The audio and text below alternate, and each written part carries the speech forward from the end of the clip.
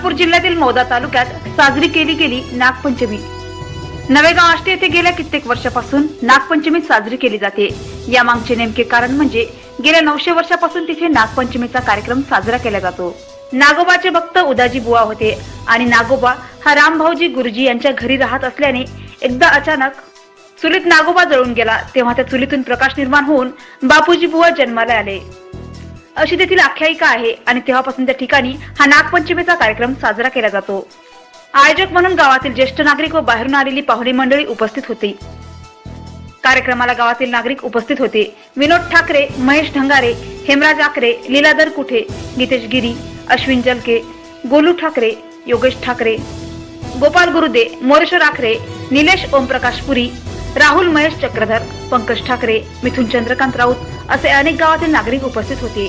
News reporter Rohan Mehar Mauda. बहुतेक सर्व गावामध्ये गाव पूजा केली जाते.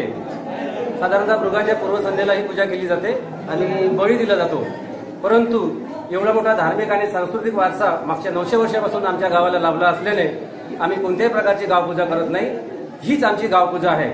आम्ही एवढंच करतो असं तर तुम्ही पाहिलेले असेल वेगळ्या यात्रा तर यात्रेचा काही पिरियड असतो. दोन दिवस चार दिवस आठ दिवस. आमचा तसं नाही. आज आमचा जेमतेम सुरुवात आहे आणि उद्यापासून तर कार्तिकी पौर्णिमेपर्यंत जवळपास चार महिने आम्ही गावाच्या वेशीवरून दिंडी काढतो.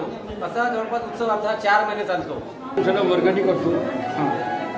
आणि कमीत कमी आता माझ्या याच्यामध्ये तर मी जसं पन्नास ते साठ वर्षाचा आहो. तर पन्नास वर्षापासून मी या कार्यामध्ये हजर राहतो. आणि सगळ्या म्हणून आनंदाने याची पूजापाठ करतो आम्ही सगळे नेमकं हा सण कधीपासून आपण साजरा करता या ठिकाणी?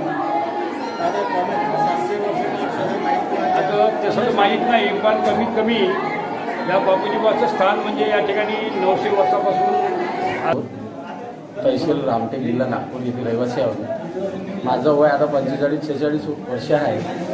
मी कमीत कमी वयाच्या सहा वर्षापासून इथं येत आहो मधामध्ये काही खंड पडलेला होता.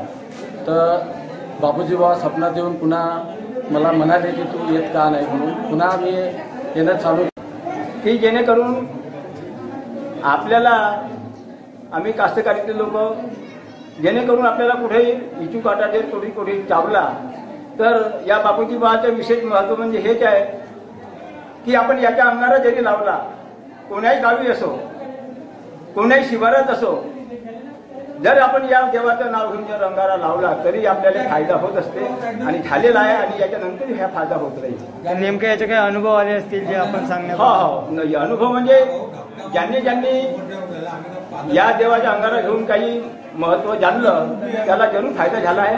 आणि ज्यांनी काही लोकांनी महत्त्व जाणून नाही घेतलं त्याचं थोडंसं नुकसान बी झालं याच्यात. पण नुकसान पाहिजे असंच लोकांचं झालं नाही. फायदाच होत आला आणि फायदाच होत राहील.